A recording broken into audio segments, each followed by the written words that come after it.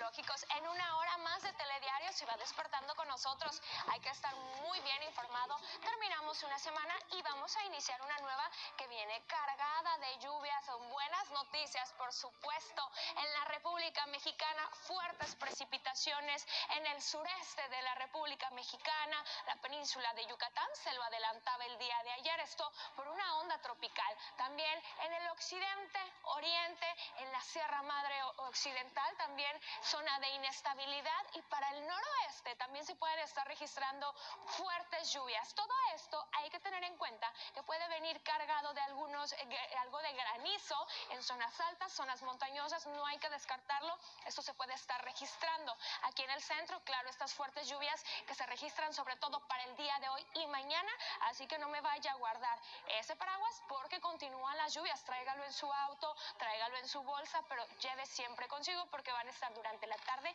y durante la noche. La región del noroeste, Coahuila, Nuevo León, Tamaulipas, algunos chubascos ligeros, aislados, zonas montañosas, por ejemplo, en Coahuila ser en la Sierra de Arteaga.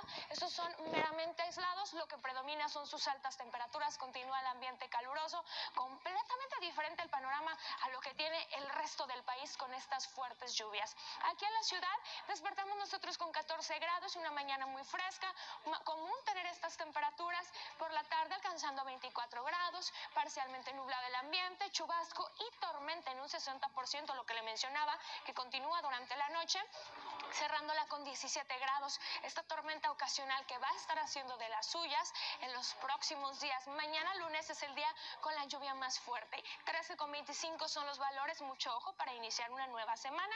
Muchos siguen de vacaciones, así que puede tener, para que esté en casa, pero tenga en cuenta estas lluvias fuertes y puede haber caída de granizo en algunos puntos. Martes y miércoles 25, 26 grados, pero como le mencionaba, las precipitaciones no se van y van a continuar en un 60% estos chubascos y hay potencial de encharcamiento en algunas zonas, por supuesto. Sabemos las calles que tenemos en la ciudad, así que mucho ojo con esto. Sabemos que hemos tenido también precipitaciones en los últimos días y van a continuar. Para el Estado de México, un día es muy fresco, es un domingo muy fresco, 20 grados para Chalco, 21 para Texcoco y el resto se mantiene con 22, Ecatepec, Nesa, Tizapantla, Nepantla y Naucalpan también probabilidad de tormenta eléctrica para este domingo.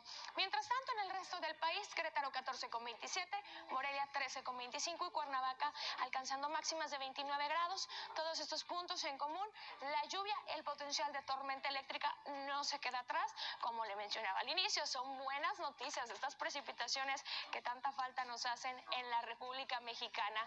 Para Puebla, valores similares a lo que tenemos en la ciudad, 13,23, parcialmente nublado, chubasco, tormenta eléctrica en un 60%, que continúa para lunes, martes y miércoles. Los valores se mantienen, sube ligeramente el termómetro, 25, 26 grados, pero se mantiene completamente agradable por estas precipitaciones.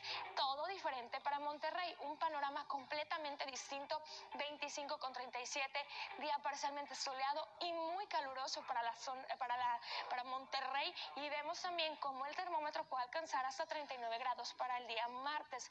Es decir, vuelven las altas temperaturas que no se han ido en Monterrey, pero van a continuar arriba de 39 grados en los próximos días. Guadalajara máximas de 29, chubascos ocasionales también presentes en los próximos días, alcanzando máximas de 30, cálidos, parcialmente soleados, con esta lluvia también que no hay que descartar. La fase lunar no puede faltar, estamos en una luna creciente y eso va a ser cuando tengamos nuestra luna llena martes primero de agosto, 12 horas con 31 minutos y la luna menguante el día 8 de agosto a las 4 con 28. Esta es la información meteorológica, lo voy a ver en la siguiente hora con mucha más información.